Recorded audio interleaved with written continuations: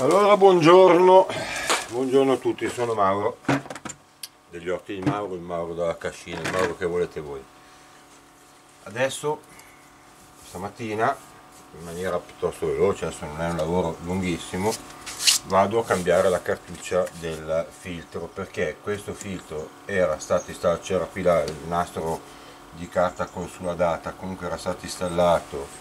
il 10 settembre del 2021 adesso siamo al 19 settembre del 2022 quindi sono passati 9 giorni in più. Le cartucce dei filtri di questo tipo ehm, vanno bene per litri 4000 o una volta ogni 12 mesi va fatta la sostituzione. Io sono riuscito a averla questa qui è la cartuccia che adesso vado a montare a VS1 la Bowe Water System è una ditta americana che riproduce la stessa cartuccia identica quindi compatibile con il sistema Segul, Segul 4 che è il mio, il mio filtro. Più avanti quindi alla scadenza di questa molto probabilmente installerò invece una cartuccia AVS 1 Plus che è più specifica per il mio caso perché io eh, uso acqua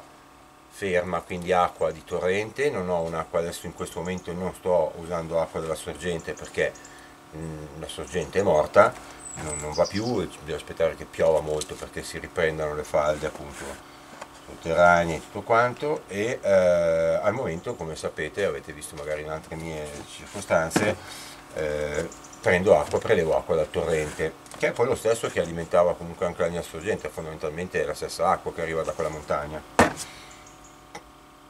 Esiste però in questo caso un rischio più elevato di carica batterica organica, perché essendo acqua che comunque ha delle impurità anche a livello materiale, proprio foglie, rametti, cose di questo genere, magari anche gli stessi animali che vanno a bere, fare delle cose e poi il fatto che venga trasportata comunque in questo modo con, per arrivare poi in una cisterna dove rimane ferma ma nella cisterna io non la tengo ferma più di 3-4 giorni perché comunque ho un consumo piuttosto elevato anche di acqua. Eh, la stessa, questo rumore che sentite in sottofondo è la pompa che sta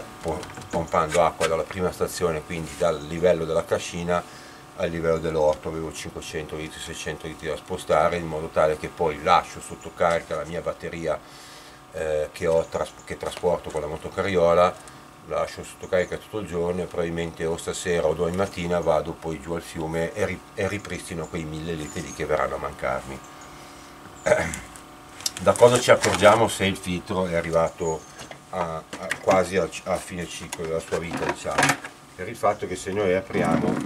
abbiamo una portata veramente minima. In questo caso è veramente poca l'acqua io poi mi sono accorto anche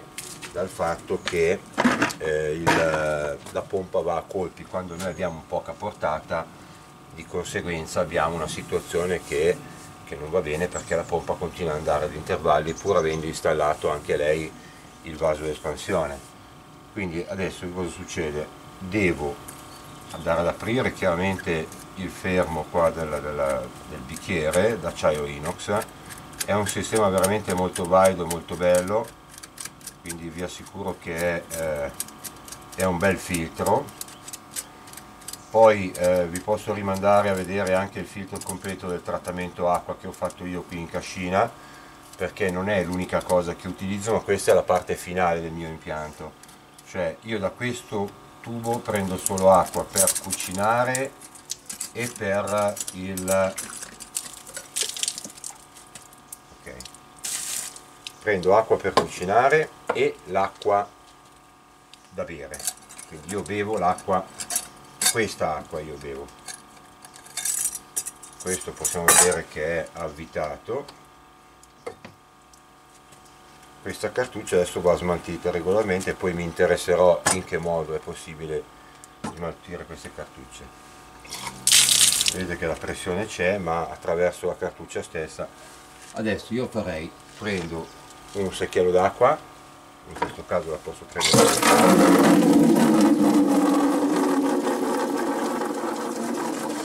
Lavo queste parti.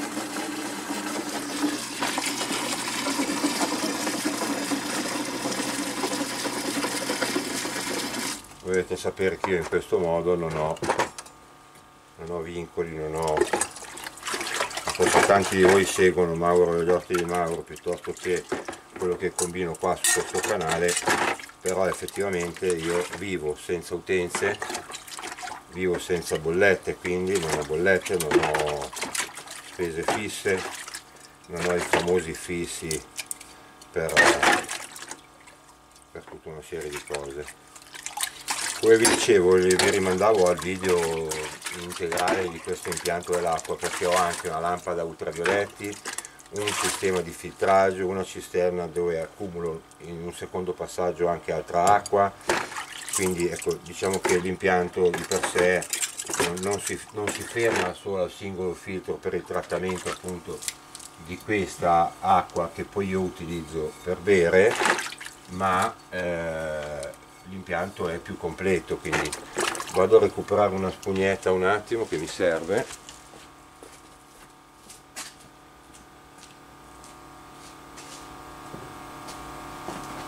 E torno subito. Torno immediatamente. Allora praticamente vi dicevo che l'impianto non è limitato al solo, alla sola installazione di questo filtro che è poi quello che è definito il mio filtro alimentare. Allora da questo filtro io ci cucino bevo e do da bere anche ai miei cani quindi l'acqua dei cani la prendo comunque da qua nonostante loro siano adattati anche a berla in, uh, in, nel fiume direttamente cioè i cani non hanno questo, questo problema che possiamo riscontrare noi che in realtà c'ho meno anch'io perché se ho sete bevo direttamente dal torrente pure io mi metto giù come un cane. Però cosa succede avendo questa, questa necessità appunto di avere un sistema di filtraggio più sicuro avevo proprio bisogno di avere un sistema che mi permettesse di, di stare tranquillo essendo che pesco acqua di, di, di, questo tipo insomma.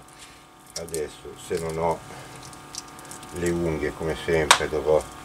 arrangiarmi no si è aperto meno male le cartucce quando le acquistate non potete renderle quindi sono, non è possibile rendere quando se sbagliate l'ordine dovete tenervele. Non è permessa la restituzione. Per ovvie ragioni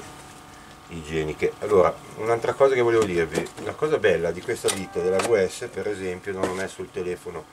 in modalità aereo adesso mi stanno arrivando un sacco di messaggi scusatemi che ho appena fatto un post sul canale Telegram degli orti di Mauro. Il bello di questa azienda vi volevo dire è che utilizza i carboni che vengono utilizzati per il filtraggio non arrivano, non sono derivati da materia prima, quindi dalla legna direttamente, ma dalla noce di cocco. La pianta di noce di cocco, leggevo sul loro sito, eh, fa anche 3-4 raccolti all'anno nelle zone pure appunto dove, dove si riforniscono di questo, di questo frutto. Lo scarto, quello che è lo scarto della noce di cocco, viene fatto appunto da lì, il trattamento, la carbonizzazione, quello che fanno loro i loro procedimenti per ottenere i carboni attivi che servono per il filtraggio. Quindi la cosa bella di questa ditta sta proprio lì, il fatto che non abbattono la pianta per poi farne la materia prima, ma utilizzano il frutto di queste piante che continuano a essere piante vive, piante attive in questo caso, e eh, producono appunto queste, queste, queste, cose che poi servono per, il, per fare il filtro, questi carboni che servono poi per fare i filtri. Allora, adesso io come avete visto ho avvitato la cartuccia in posizione, adesso noi andiamo a ribloccarla un attimo di qui, è un filtro praticamente meccanico a tutti gli effetti, quindi non, eh, non ci sono organi meccanici in movimento, non ci sono spine collegate. Io vi dico, potreste anche mettere quel dispositivo che vi contabilizza i litri, 4000 litri, no, ma ve ne rendete conto dalla portata, primo, e dal fatto che una volta all'anno comunque dovete cambiarla. Poi, che chi come me utilizza acqua ferma, quindi acqua di, di cisterna, acqua che comunque potrebbe usare anche per assurdo l'acqua piovana se vuole, no? Ecco, a quel punto deve, secondo me, puntare alla US1 Plus che è più specifica appunto. una volta terminata l'installazione così semplicissima come avete visto io metterò il mio secchio qua in terra apro il mio impianto che si sta riempiendo adesso inizia a filtrare e appena arriva da qui vedete che il filtro è in questo caso dobbiamo spillare dai 3 ai 4 galloni sono circa 18 io ho calcolato per 5 sono 18 litri farò un paio di questi secchi faccio un paio di questi secchi d'acqua in modo tale che appunto facciamo il lavaggio della cartuccia nuova appena installata.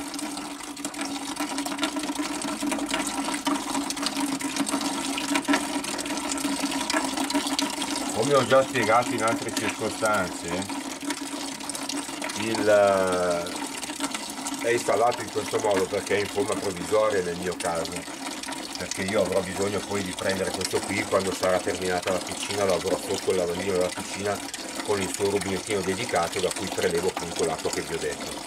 Eh, in questo momento è qua perché è l'unico punto dove io ho l'impianto funzionante quello che vedete accanto a me è lo scaldabagno a legna quindi è lo scaldabagno che mi permette di, di riscaldarmi l'acqua i vari circuiti c'è il, termo, il miscelatore termostatico che io regolo per avere l'acqua miscelata sugli impianti perché questo lo tiro su quando faccio addirittura il trattamento termico nello scaldabagno lo tiro su 80-90 gradi come ridere non mai, mai meno di 50 perché comunque anche quello per me è molto importante avere comunque una, una situazione di questo tipo come vi ho detto decantazione, primo filtraggio, lampada UV, eh, trattamento termico quando diventa calda e filtraggio di questo tipo quando invece andiamo a utilizzarla eh, per, per l'uso alimentare. Io non mi trattengo ancora, mm, posso già anche salutarvi, finisco come in questo caso, qui poi perde anche il bocchettone, dovrò metterlo a posto perché proprio l'impianto, non avevo l'oring, eh, alla fine sono fatto così al volo anch'io ma eh, sono idraulico. E sono un ex idraulico quindi appena, appena, sarà possibile che questo andrà installato poi sotto la, la cucina quello che sarà farò anche tutti i vari accorgimenti idraulici del caso in questo caso non è aumentata tantissimo la portata perché è proporzionale alla portata che abbiamo proprio di impianto quindi tubisteria e la pompa che c'è nel mio impianto e che è equilibrata perché non sia oltre la portata della lampada UV quindi se noi abbiamo una pompa che fa 12 litri al minuto e passano tutti dall'impianto ma la lampada è una lampada per 3 litri al minuto non state facendo il lavoro di debatterizzazione della, della lampada. Cioè, l'acqua non può correre nella lampada e scappare via più di quello che è la sua portata. Per cui queste cose sono da prendere in considerazione. Nella fase di progettazione di un impianto e di realizzazione dell'impianto. Non mi dilungo oltre, appena è pieno il primo secchio uso quest'acqua per bagnare delle piante che ho qua fuori, ne spillo un altro, poi chiudo e per oggi io a livello di acqua sono a posto. Con i pollici fate quello che volete, un video penso brevissimo, vi saluto e se avete bisogno di conoscere altre cose fatemi domande nei, nei commenti, chiedetemi quali altri video vi possono interessare relativi alla mia vita in cascina e in questo modo vi saluto ancora, ciao a tutti, grazie.